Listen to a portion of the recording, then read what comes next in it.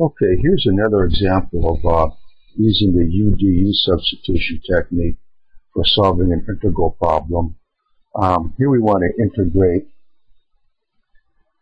x to the one-third times the square root of 1 minus x to the four-thirds dx. And when we're applying the UDU substitution, remember when you decide what you're going to call u, then when you differentiate that to get du, that du expression has to incorporate the rest of the terms in the integral. For example, suppose we looked at this and we said, well, let's try using, call that u. So we said let u equal x to the one-third, du would equal one-third times x to the minus two-thirds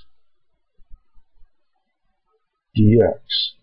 And clearly this would not be a wise choice because, okay, we would call that u, but du is not 1 minus x to the 4 thirds to the 1 half power dx. Du comes out to be equal to this, so that's not going to work out for us at all. And when you look at the problem, the other clue is that you should call this du because x is raised to a higher power than what this is. And of course, when we take du, when we differentiate, this is going to get knocked down by a power of 1. So, we would attempt to solve this then by saying, let u equal 1 minus x to the 4 thirds. Now when I take, so we would call this u, so this part of the integral here we would call u to the 1 half, but what about the rest of the integral? Well, we take our differentials, and I have du will equal, bring this down, that will be minus 4 thirds times x to the 1 third dx. And there you see when we do that, du x to the 1 third dx, and that's right here. So we called this u, this part, and we found du, it incorporated the other terms that are in, inside that integral sign. And of course we have a minus 4 thirds here, but that's no problem. We would just say in this case that minus 3 fourths times du equals x to the 1 third dx. So now we're ready to make our substitutions. We can rewrite this integral. There's no limits on it, so we don't have to worry about that. And let's see, here we have u to the 1 half. And that's plus 1 half. X to the 1 third dx. That's equal to minus 3 fourths times du. That minus 3 fourths is a constant. Let's take it out here. We have du. So now, with this substitution, this integral now changes into this form, which we can integrate right away. We have minus 3 fourths. And u to the 1 half plus 1, let's see, that will give us u to the 3 halves. And don't forget we have to divide by this exponent, or we would multiply by 2 thirds.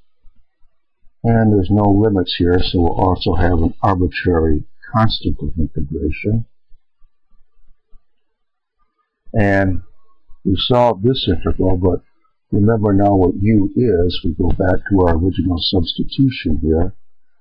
Uh, we can put u in terms of x, so we can come back to here and say this integral here x to the one-third times the square root of 1 minus x to the fourth thirds dx, that will be equal to uh, minus 2 fourths times minus 2 thirds. These 3's will cancel, so we'll have minus 1 half. And u is this, so we're going to have 1 minus x to the 4 thirds. And this whole quantity is going to be raised to the 3 halves power.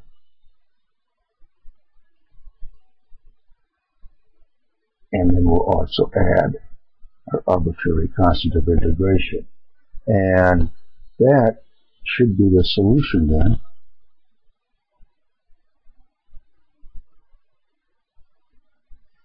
And remember, the whole thing hinged upon that when we decide in the integral here what we're going to call u, when we take du, that has to incorporate the other terms inside the integral.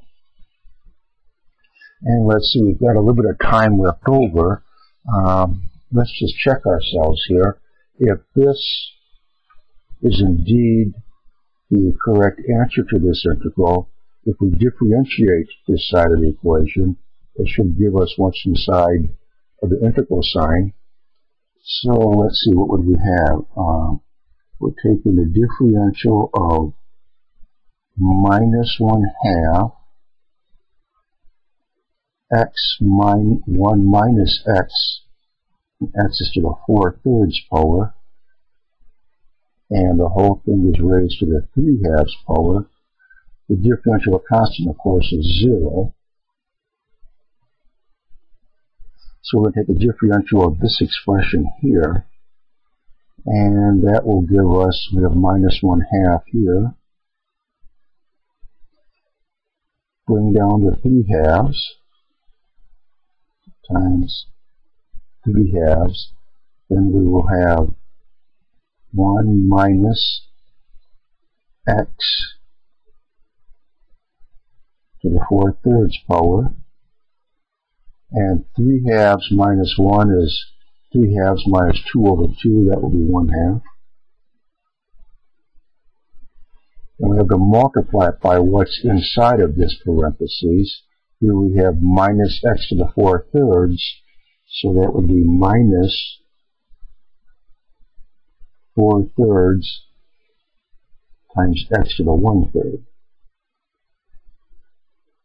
4 thirds minus 1 is 1 third. And what does that leave us with? So 2 times 2 is 4, so this cancels. These cancel. We have two negative signs, so that gives us a positive. And we then have x to the 1 third.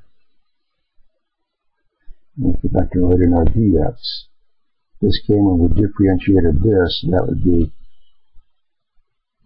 4 thirds with a minus sign times x to the 1 third dx. We left that out initially. And here we have an x to the 1 third times the square root 1 minus x to the 4 thirds dx. And that's what we have inside the integral here. So not only do we solve the integral, but we prove that our uh, answer is indeed correct. So that's how they work out. I'll come back and join us for some more videos and we'll see if we can work some more problems.